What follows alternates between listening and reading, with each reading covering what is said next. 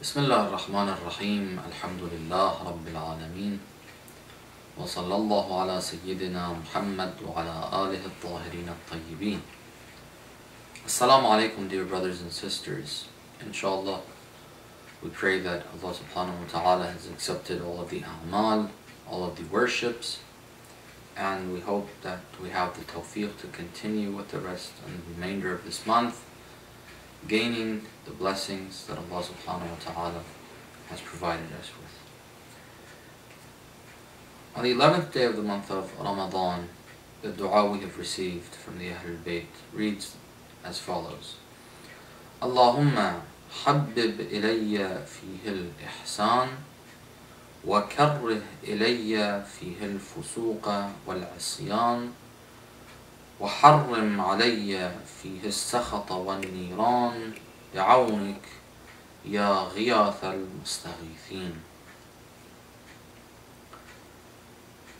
This dua in some ways may be similar to some of the other du'as that we've had in this month that we ask Allah subhanahu wa ta'ala for help to be able to implement His instructions to be able to carry out His commands, to be able to abstain from and refrain from what He has forbidden us from. But it's different. There's a similarity and there's a difference. Sometimes when we're asking for Allah subhanahu wa ta'ala to help us avoid these sins, to help us fulfill obligations. What we're asking God to help us on is simply carrying out the deed. In other words, there are obligations and there are forbiddances, things that we have been told not to do. And obviously it's difficult to avoid those sins with the strong temptations sometimes we have the whispers of the shaitan, the whispers of the human shayateen with all the glamour they put in presenting these sins to make it so attractive. We already have a hard time with the inner temptation that we have, but beyond that, the shayateen amongst humanity in Western societies are filling society with so much corruption, with so much advertisement of sin, they are whispering the shayateen, and whispering as shayateen, in pretty much hour of our day, if we just flip on the television or go outside to any store just go on the street. There's too much of that. So we have inner inclinations, we have desires, we have temptation, and then we have what provokes that externally the billboards, the movies, television, internet, just going out on the street, the way people are dressed, and so on and so forth. So we have a tough time avoiding those sins. And sometimes it becomes difficult to implement the wajibat, the obligations. And then what we do because of that is to ask Allah subhanahu wa ta'ala for help. We ask Him to provide us with assistance. Take our hand. That's one way we ask that question. The end result of what we're asking God here in this dua is similar. To be able to do what is right, to be able to do what is good, and to be able to abstain from and avoid what is bad, what is wrong, what is evil. But the way we're asking is very different. What we say is, Allahumma habbib ilayya fihi al-ihsan.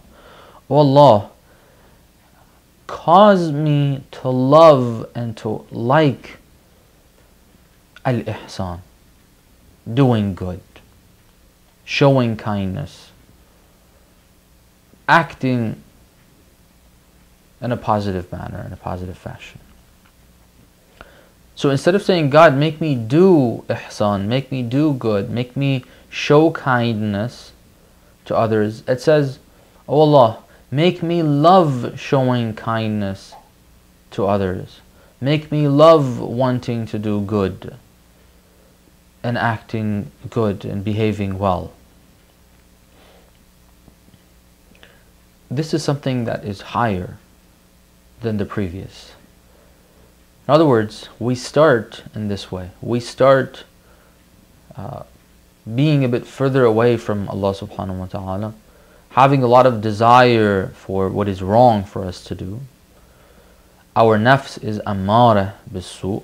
It constantly commands us to evil, and it's not really inclined towards wanting to do good. We want that to change. In fact, avoiding those sins, that taqwa that is spoken of, that starts off by avoiding those sins, it's supposed to gradually lead to this that the person that used to be such that what attracted their attention, what drove them, were desires and temptations which lead to sin which lead to not fulfilling obligation, now what's happened internally. The spirit that has, through that training of avoiding sin, uh, come about in one is the spirit of taqwa, not just the practice of taqwa. The spirit of taqwa, the quality of taqwa within is this that the person's uh, driving force, what motivates them, what attracts their attention is no longer their desire, that is controlled. Even the desire, what it likes, is only what God has permitted and what God has put forth. Let me put this uh, out. I think it'll help this understanding. What our desires want, what we call uh, desire, which leads to temptation and sin, our desires are actually not there for us to commit sin. Our desires are supposed to drive us towards things that God wants us to be involved with. He says, كُلُوا مِن طَيِّبَاتِ مَا رَزَقْنَاكُمْ Take from the good, the tayyib that I have provided for you the desire is supposed to drive us towards the tayyib, but if it's left untamed, if it's left untrained, on top of what is tayyib and what is good to desire, it also desires things that are not good for it, not good for the soul, and they are referred to as khaba'ith. It's khabith, it's evil, it's wrong. If we train that nafs, eventually it's supposed to be such that the desire is controlled. What it desires is tayyibat. And it's not only desire anymore, it's spiritual inclinations, it is aql, the intellect, and what it, whether it's the aql, desires, the fitra, the spiritual inclinations, it's all pushing me towards and causing me to like to do good in all arenas of life. Developing that is really important. Developing the love to do good is really important so that I would not even want to do what is evil, I would be more inclined to do what is good. What we're asking here is that Allahumma habbib ilayya fihi al-ihsan. Don't just make me do ihsan, but cause me to like to do ihsan.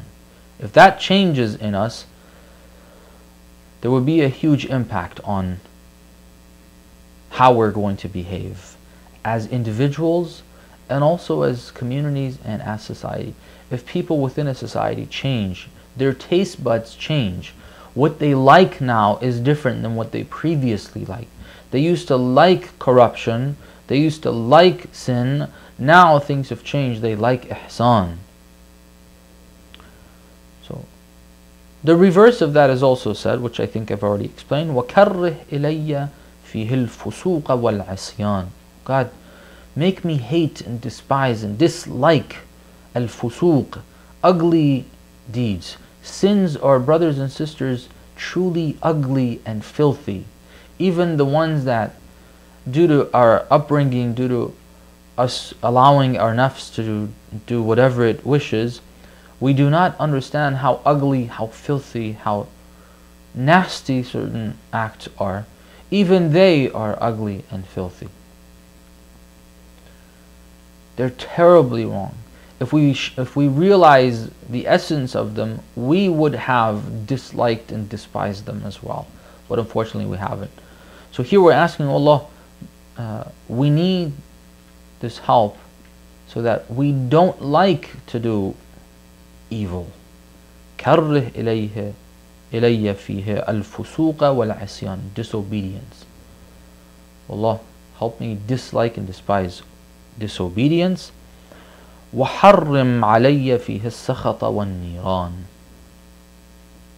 Now the result of that, if one is able to gradually develop themselves where they no longer even like to be involved with sin. They despise that. And they like to do good. Then they are naturally going to be moving away from God's wrath and punishment in the hereafter. And that's what we're asking. Oh Allah, make it haram or forbid hellfire on me. Forbid your wrath on me. Help me never enter the realm and the domain of your wrath and your hellfire.